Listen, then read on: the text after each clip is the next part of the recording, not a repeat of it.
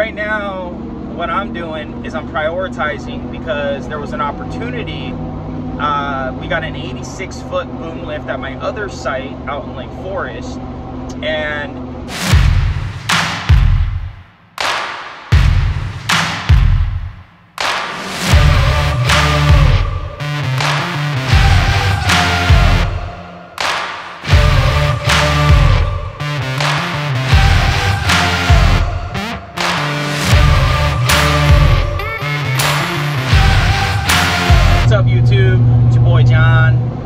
Overcomer Nation, all my service contractors, service owners, contractors. What's going on? Hey, listen, this morning's kind of rough. It's a Saturday. We're getting stuff done. Um, running between multiple sites right now. Uh, we had a site that we had to complete. Uh, we had some- a job to do out there, and 175 unit uh, hotel, getting some stuff done, and, and we had a little mistake happen yesterday where we ended up cutting some of the window seals. So those window seals now have to be replaced. The problem is, is the owner next door to the hotel, there's only about six feet of space on a walkway that allows you to maneuver on the back side of the building. And so it's a fucking pain in the ass because the owners next door have a huge parking lot that normally would give you access to the hotel uh, to go up there and fix the window seals. But because we want to use a boom lift, we got to use like a 65 foot boom lift, and these assholes won't let us go next door. So you know these are the kind of things that you're going to deal with when you own your own construction business: uh, window cleaning, pressure washing, building, framing, painting, uh, whatever the case may be. You're going to deal with nightmares like this. And so right now, what I'm doing is I'm prioritizing because there was an opportunity. Uh, we got an 86 foot boom lift at my other site out in Lake Forest, and that's like a $1,500 a day lift. And so I was told I can use it um, because it's already out there, to, so I can make sure my budget stay down, stays down, so I don't have to spend 1,500 bucks for an hour worth of work. So I'm rushing out there to, to, to go handle this other problem that I need to take care of on some of these windows. I got to pull off some of the window tint. There, there's a protective tint that goes on the hotel, and that protective tint needs to be pulled down. Uh, I would say next time, probably during scaffolds, not at the end, because you, it's just a pain in the ass, right? So now I'm running over there. So you got to prioritize. So what do you do when you actually have to handle multiple things at once and they're all important they're all a priority they're all uh, they're all basically something that you need to take care of. We were actually contracted on a change order to take care of a lot of this material that was on the windows. There was like concrete paint um, uh, window sealant just nasty stuff all over the windows where we had to actually hand scrape the windows Otherwise, I would have just, you know, made sure the windows were looking good from the ground with our water fed poles. But those windows were just fucked up. It was a post construction. And so we got a change order for it to save the day, to make more money, to do it. And then we ended up causing more problems with the window seals because we ended up cutting them with our razors. Stupid, stupid mistake. Don't do that if you are a high rise window cleaner and you do shit from the ground with water fed poles. So that's the pros and cons of working from the ground is the pros, you can get the job done fast, you can do it with limited resources, you buy your equipment one time, you're able to just do whatever you do whatever you gotta do. But if you don't be careful of those damn window seals and they're and they're silicone, not vinyl, okay? You're gonna run into some problems. So stay like an inch away from the corner of the damn windows if you are a window cleaner. So if you're listening to this channel, it's because you're a service contractor. Uh, we should all understand that all service contractors are similar. We're all the same. All of us as contractors, as individuals, I'm a licensed contractor for construction cleanup. No, I'm not a framer or a painter, but I've been in the industry for a long time. I deal with some very large commercial contracts. I teach people in the painting industry. I teach people in the landscaping industry, framing industry, whatever you may, may call it. I help them get into large commercial jobs. And uh, some of the problems that I'm talking about right now is geared towards people in the window cleaning trade, but um, this channel is all about getting into these large commercial contracts. So don't let it steer you away if you're not a window cleaner or a or a construction cleanup guy like myself. Everything is similar. I, I have friends in the space. I talk to multi-million dollar painters. Um, the only difference is our trade work. Okay, so it doesn't really matter because trade work. The the thing that I've noticed the most about contractors is we're so damn concerned with the trade work and the tools and the know-how and the how because that's an important side of the business. Don't get me wrong guys i get it. Like you got to understand how to do your trade and, and perfect your craft. But what i like teaching about is how do you get more business? Like how do you get some of these large commercial projects? How do you how do you obtain them? What's the mindset you have to have?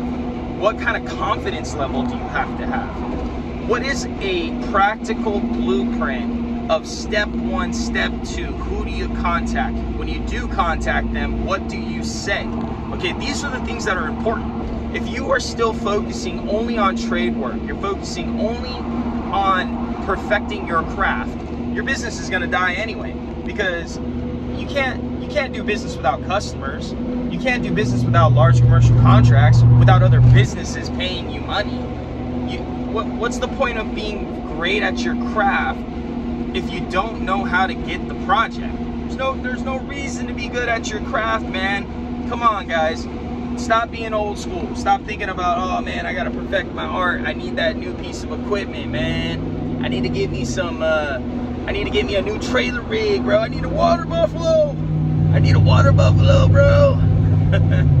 I need a water buffalo. Can you can you get some water out here? Yeah, we gonna need a water buffalo. No, man, you don't need a damn water buffalo, man. You just need a hose, all right? Stop worrying about the damn water buffalo and start worrying about your money. Start worrying about getting some projects. Start worrying about building your team. These things matter. Now, look, man, you spent a lot of time perfecting your craft. You spent a lot of time getting good at your job. And you might say, well, John, if you were perfecting your craft, you would have never cut those window seals. You're probably right, man. But you know what? I feel like I'm pretty damn good at my craft problem was it was fucking windy that day and I was going up seven stories high scraping windows from the ground. Okay, you try that. This shit's fucking hard. So we fixed the problem. We ended up getting a lift out there and we, we shortened the distance, shortened the gap uh, so we could just scrape like 30 feet. Anyways, how do you handle prioritization, man, when you got shit going on? Okay, you got a few things going on. Well, first and foremost, look at what you can handle right there in that moment what's going to if all three things are important to handle for instance i got to go out here uh, to get get take care of this window tint. There's an 86 foot boom lift out there that i can use. Uh, it's ready to go. I can go out there and do it. So i'm going to put my energy into that because it's ready to go. I can go out there and just handle it. I also needed to get this job done where i'm at right now. So what do i do? I delegate it. I let my my main guy big hose take care of the problem. So he takes care of the problem he keeps the, the production going without me there because I can trust him to handle it and I move on. Okay, I move on to the next task. Now the other task was fix the silicone on the fucking windows. And that was a new problem I created. Well, with that, it is a priority, but there's nothing I can do about it today. You know? Right now, I can't go in the next door neighbor's fucking parking lot without him calling the cops and I can't drop down from the roof because my equipment's out of date. I gotta buy some new descenders and uh, I gotta do it after hours. So I'm gonna schedule that for another day. I'm pushing that to the side. It's a problem I created, it's a new problem. It is something I gotta fix. And what I'll probably do today is I'll probably handle everything that I can handle with the ladder. So I'll go up like second, third story, take care of it with the ladder. So that's number one, what you gotta do, man, is you gotta take care of what you can handle and then make a decision and go handle it, okay? Now, the problem is, what's equally as important? What's equally important is, yes, you gotta hold on to the projects you got, you gotta hold on to what you're already doing and make your clients happy, um, but there's always that third or fourth, there's always that fourth thing that's dangling around your head, man, that's saying, go get some customers, follow up with some prospects, go make some bids, okay? That's always a priority. And so if we're spending 60% of our time, and, and I'll tell you, no, no, 80% of our time. And I'm guilty of this. I'm guilty as charged, especially as lately. I've got I got so much work going on, so much. We got uh, three commercial projects that are going nonstop every day with teams at them all day, every day, six days a week. Um, it gets kind of hard to prioritize to go out there and get some deals. So what do I do? Especially since I'm still in the field helping out sometimes. I'm not always in the field. As a matter of fact, a few months ago, I was completely out of the field. Then COVID happened, and uh, I had to jump back out there to, to fix some things and keep things in order. Um, and so, how do you handle it all, man? How do you keep doing the deals? How do you keep sending out the emails? The people aren't going to hit you up, man. They're not going to call you guys. I just want you to understand that they're not going to just call you. Now, you might have some prospects that you do business with, that you have some relationships with, that call you and say, hey, John, I want to give you a $40,000 deal. Okay? But that's few and far between. What are you going to do right now? Right now, what you can do is if you're stuck in the field and you're trying to take care of business, is in between things that you're doing. I call them these little moments of time, right? These little moments of time that you run into. I just missed my exit. These little moments of time that you run into, these 10 minute moments of time when you're driving between sites and you know you got to go stop in on that one site because it's to pay you some cash. What do you do?